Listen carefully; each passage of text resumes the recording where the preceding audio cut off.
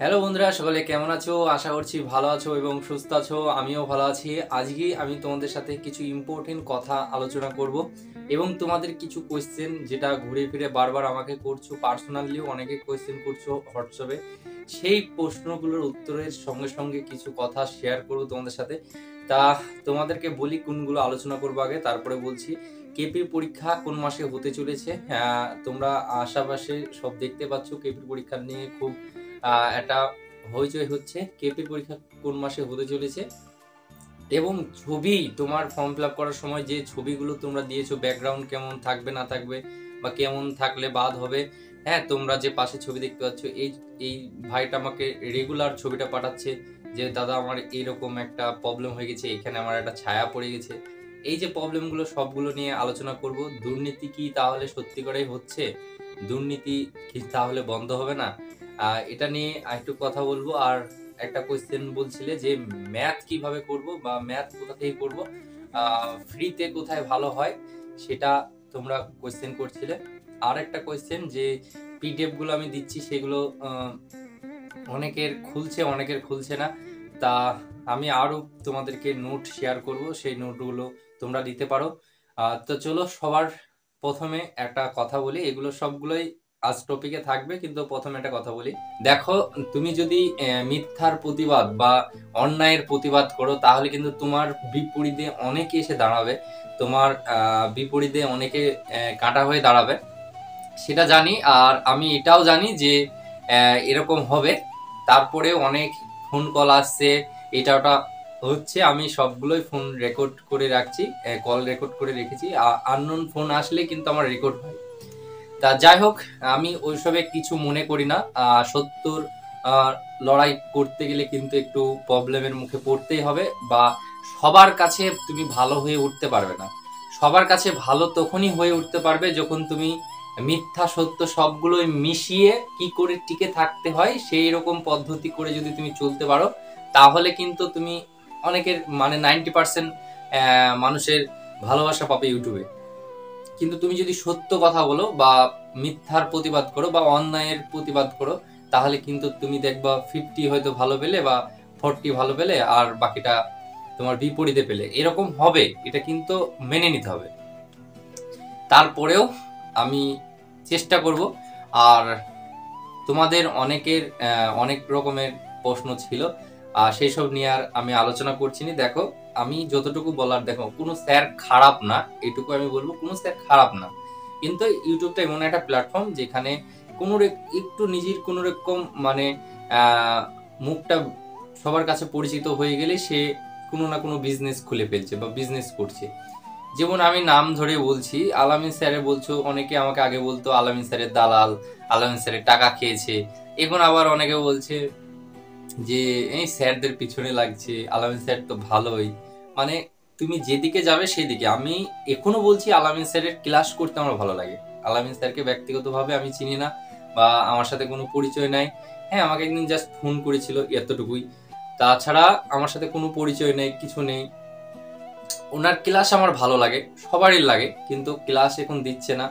আহ, সেই জন্য আমি বলেছি যে অন্তত ফ্রি ক্লাসগুলো তো ভালো মতো দেওয়ার দরকার, তাই না? বিজনেস করবে সে তো সবার, তার ব্যক্তিগত ব্যাপার। বিজনেস না করলে চলবে কি করে? সেটা করুক, কিন্তু সেটা একটা লিমিটের মধ্যে রেখে যেন সব স্টুডেন্ট নিতে পারে সেই কোর্সগুলো হ্যাঁ সেই বিশ্বাসটা যেন না হারিয়ে পড়ে, সেটার জন্য বলি, বা ওনার ভালোটা উনি ভালোই বোঝে।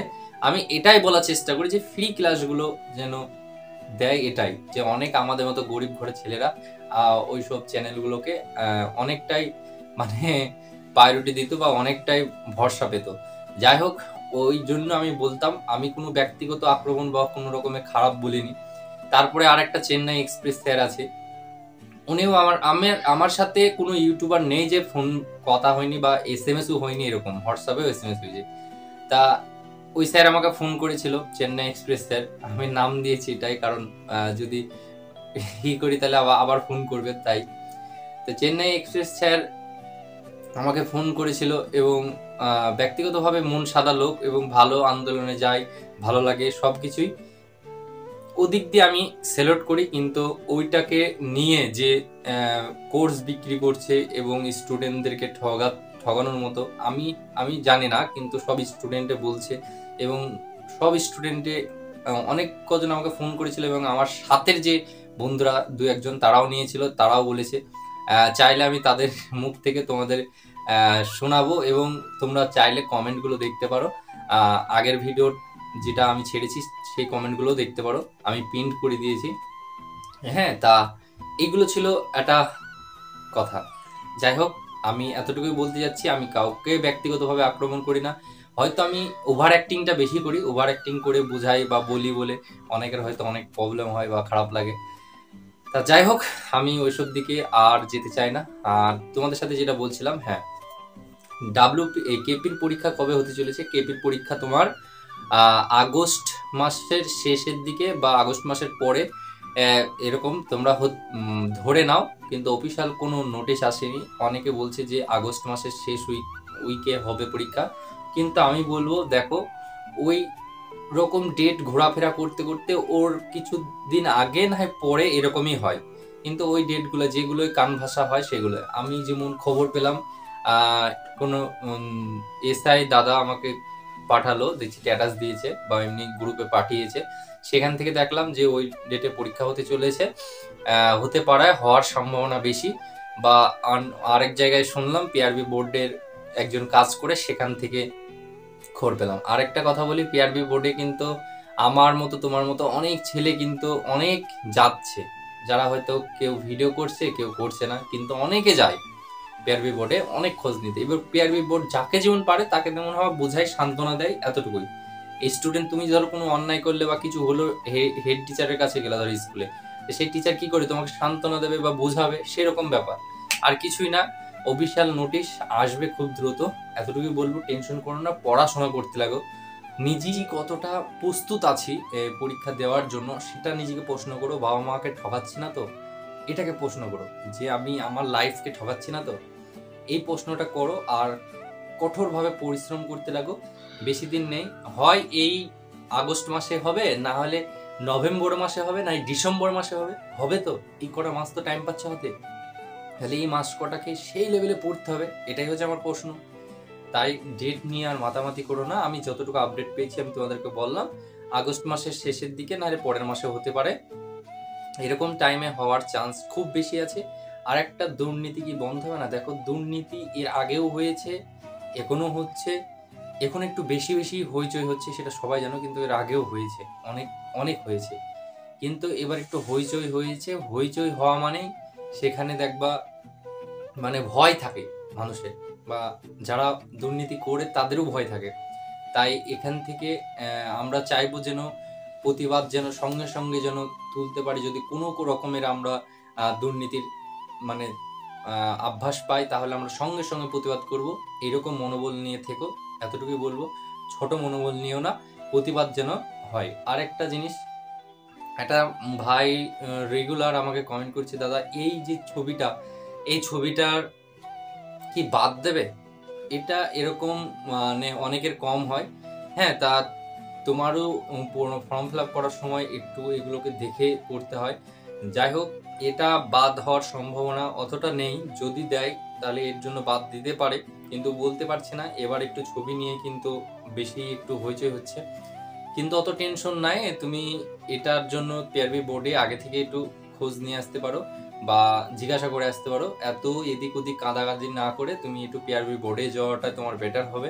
আমি বলব, সেখান থেকেও বেটার বলতে হবে। আমি অতটা বলতে পারব না। এটা হচ্ছে বড় কথা। আর অনেকে কমেন্ট করছিল যে ব্যাকগ্রাউন্ড কি ব্লু কালার থাকলে হবে?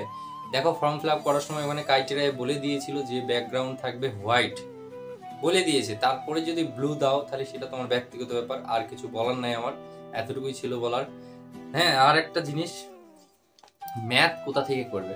ম্যাথ করার জন্য একটা best teacher free Alok sir সবাই তোমরা জানো, অলোক স্যার বা স্মার্ট ম্যাথ বলে একটা চ্যানেল আছে। সেখানে হয়তো সুবীর দাসের সব ম্যাথগুলো করানো ছিল, সেখান থেকে ডিলিট করতে হয়েছে। কারণ রিপোর্ট বা স্ট্রাইক মারছিল সবাই, বা ওই তোমার সুবীর দাস যে ইয়ে থেকে বইয়ের সুবীর দাসের বই থেকে করছিল বলে স্ট্রাইক পড়ছিল বলে ডিলেট করে দিয়েছে।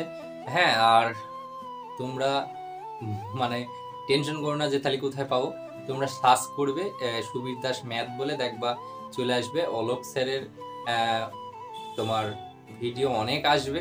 অলোক স্যার সব ফ্রিতে ছেড়ে দিয়েছে অন্যান্য চ্যানেলগুলোতে তা সেইগুলো থেকে তোমরা দেখতে পারো বা অনেক ইউটিউবার ওই ভিডিওগুলো ছেড়েছে, তোমরা দেখতে পারো। এছাড়া আমাদের এআর একাডেমি থার্টিনকে ফলো করতে পারো। এতটুকুই বলব। আর তোমরা আজকের ভিডিওটা বড় হয়ে যাচ্ছে। নেক্সট ভিডিওতে তোমাদেরকে সব পিডিএফগুলো কীভাবে পাবে না পাবে বলে দিচ্ছি। তারপরেও বলছি এআর একাডেমি থার্টিন টেলিগ্রামে যাও, ওখানে আমরা সব পিডিএফগুলো শেয়ার করি, যত রকমের ফ্রি পিডিএফ দিই। তা তোমরা সেখানে যাও। অ্যাড হয়ে যাও, আমি শেয়ার করে দেবো। আর নেক্সট ভিডিওতে তোমাদের পিডিএফ নিয়ে বা নোট বাগারা নিয়ে আমি যতটুকু পারব দেওয়ার চেষ্টা করব এবং ভিডিও করব সেই নিয়ে। স্টাডি ব্লগ অনেকে চাচ্ছিলে স্টাডি ব্লগ সেরকম দিতে পারছি না, কারণ টাইম হচ্ছে না বা স্টাডি ব্লগ করতে গেলে তো যেখানেই যা করব ভিডিও করে তুলে ধরতে হবে। সেই জন্য হচ্ছে না, তা আমি চেষ্টা করব দেওয়ার। আবার সামনে তো তোমার ঈদের মৌসুম আসছে তার জন্য আমাকে আবার বাড়ি যেতে হবে। একদিন আগে যাব, আর দ্রুত চলে আসার চেষ্টা করব। এখন খুবই চাপ আছে, বুঝতে পারছ পড়াশোনার মক টেস্টে কত নম্বর আসছে, না আসছে, কোথা থেকে মক টেস্ট করছি সব কিছু আমি ব্লগে আনব। তোমরা সাথে থেকো, পাশে থেকো, দশ হাজার সাবস্ক্রাইব অনেক কাছে চলে এসেছি, তাই দশ হাজার সাবস্ক্রাইব পূরণ করে দাও তোমরা। তোমরা চাইলে হবে, না চাইলে হবে না। থ্যাংক ইউ ফর ওয়াচিং সবাই ভালো থেকো, সুস্থ থেকো। কোনো প্রবলেম হলে অবশ্যই কমেন্ট করে জানিও।